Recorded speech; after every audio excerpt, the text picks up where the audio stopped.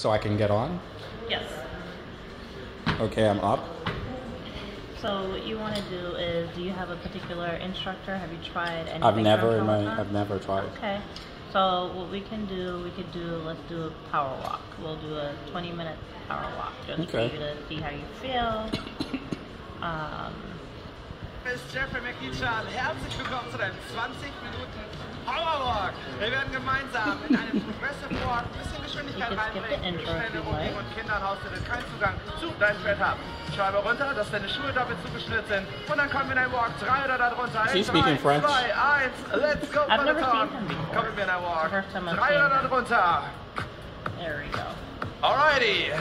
So what you want to do is you want to push the Kommen wir in einen Walk. first button. Oh, You're gonna- oh, okay. Yeah, I I have to push oh. this. Hände locker. but it's gonna Aktiviere deine. Körpermitte. Dein Booty ist fest. Deine Füße rollen ab. Du atmest tief durch die Nase ein. was afraid of. Durch den Mund wieder you're aus. aware.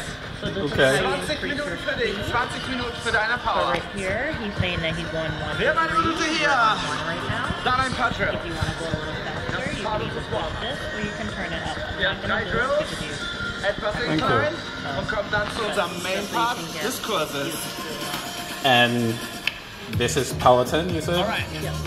In 45 Sekunden kommen die Drills. Is there any version that I can interact with the um, the guys? With the instructor?